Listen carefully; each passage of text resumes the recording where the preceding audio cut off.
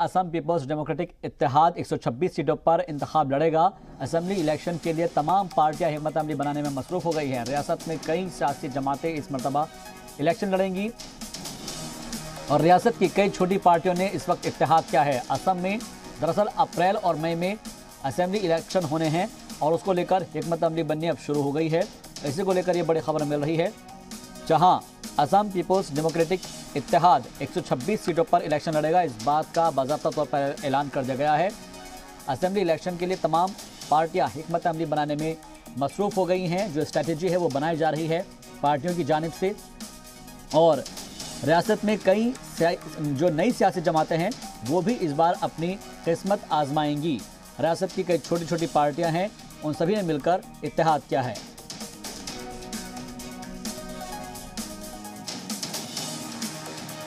असम का जो प्रॉब्लम है, उसका समाधान नहीं किया। अभी बीजेपी का जो गवर्नमेंट है, ये भी मतलब असम का समस्या को लिए काम नहीं कर रहा है, सांप्रदायिकता फैला रहा है।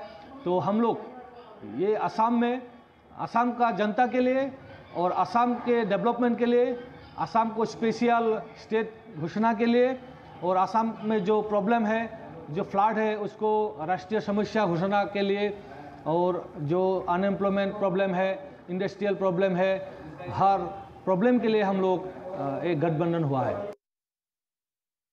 तो हर किसी प्रॉब्लम को लेकर गठबंधन किया गया है इत्तेहाद किया गया है अलायंस किया गया है।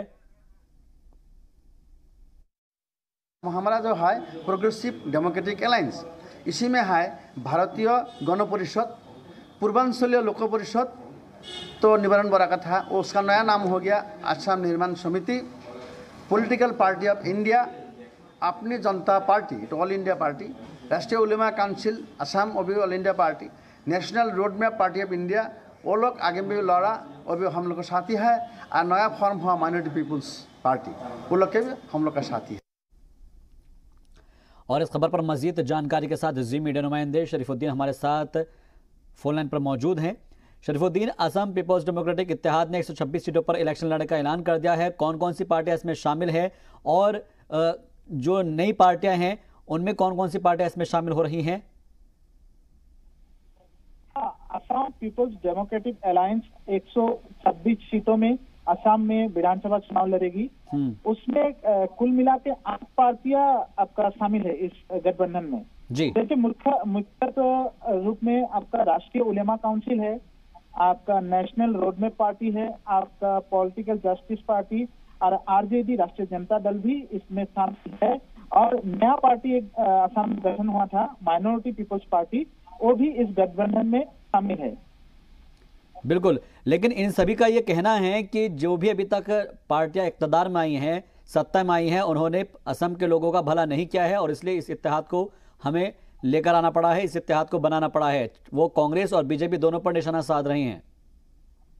हाँ ये आपका जो नया अलायंस बना है, उनमें जितने भी पार्टी है, उन्होंने डायरेक्टली आपका जो पुराने तक कांग्रेस के जो आपका जो यहाँ पे आपका पंद्रह साल का राजनीति के था आपका उसमें भी कुछ डेवलप नहीं है यहाँ के लोकल जनता के लिए। और आपके वो लोग सीधे भाजपा को भी निशाना साध रहे हैं कि कह रहे हैं कि भाजपा भाजपा के सरकार में भी आपका कुछ डेवलपमेंट का जो माइनॉरिटी का, खासकर माइनॉरिटी का डेवलपमेंट नहीं हो रहा है और कुछ अंदरूनी इलाकों में भी काम नहीं हो रहा है, इस डायरेक्टली आपका भाजपा सरकार को भी लोग आपका निशाना साध रहे हैं।